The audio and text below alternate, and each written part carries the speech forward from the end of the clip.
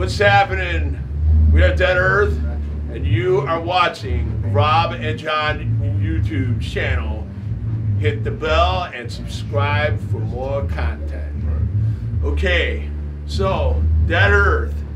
Dead Earth hails from Cleveland, Ohio. Um, I'm the singer, Jack Savage. Um, we have Mark Hardy on guitars, uh, Joe DeFrank on guitars, Bob Samancic on bass, and Jay Powers on the drum. Um, the band name uh, was something that I came up with a few years back um, after uh, uh, listening to the first Black Sabbath album. And, uh, you know, I was just looking at the cover and I wanted something that went back to that style of metal where the riff where the riff mattered and the lyrics meant something and um, you know with uh, with everything that was going on and and um, you know the world today I, I figured you know Dead Earth is a is a killer name so I looked it up and I didn't see anybody else that had it and um, so we grabbed it. Um, as far as like the first concert I ever went to, um, that changed my life.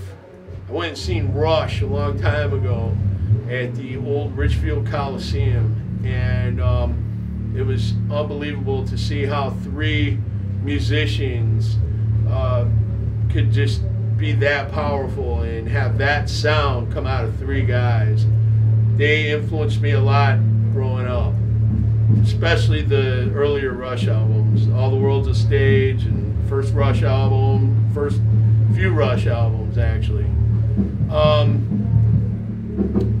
the writing process does it come easy for for us guys? And is there sometimes uh, where we run into a mental block or uh, writing what uh, what motivates us and uh, you know to write a new song? With what's going on in the world today um, we have a lot to write about I really don't have a lot of uh, block, you know, when it comes to writing lyrics because there's just too much hatred going on in this world today and it's got to stop. And I feel that and I hope that the lyrics that we write and the music that we write is part of the solution and not a part of the problem. Um, this, this, this, we sing a lot about um, anti. Uh, racism. We are not big fans of racism. We're not big fans of sexism. And we sure as hell uh, don't like what's going on in the world today. Um, there's a lot of change that needs to come.